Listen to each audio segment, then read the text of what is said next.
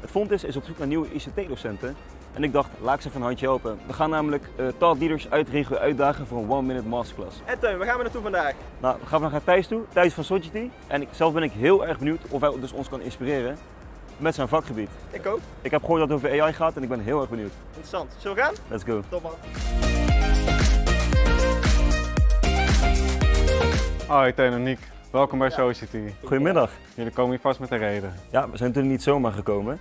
We willen je namelijk uitdagen. Oké, voor... We willen jou dus uitdagen om een one minute masterclass te geven om ons te inspireren over jouw vakgebied.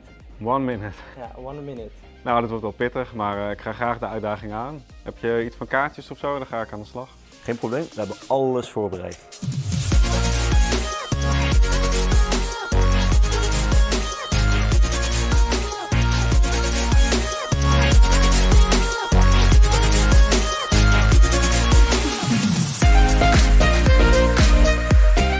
Het is toch ongelooflijk dat de spelletjesmaker Epic Games, de maker van Fortnite, een marktwaarde heeft van 28 miljard dollar.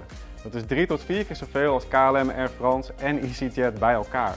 En neem een andere spelletjesmaker, Roblox. Die heeft een marktwaarde van 47 miljard dollar. Deepfake is veel verder dan dat mensen denken. We hebben deepfake therapieën en we hebben studenten die hun gezicht verkopen aan start-ups om als deepfake gebruikt te worden. Wat je in al deze voorbeelden ziet is dat nep en echt er steeds meer in elkaar overvloeien. En dat betekent dat jij als IT-student eigenlijk een realiteitsbouwer wordt. En dat brengt een bepaalde verantwoordelijkheid met zich mee. Wij hebben hier een hele realiteitsethiek in uitgewerkt, maar voor nu zou ik je graag willen uitnodigen om eens te gaan spelen. Ga eens een meta-human bouwen in Unreal Engine. Bedenk een businessmodel gebaseerd op deepfakes.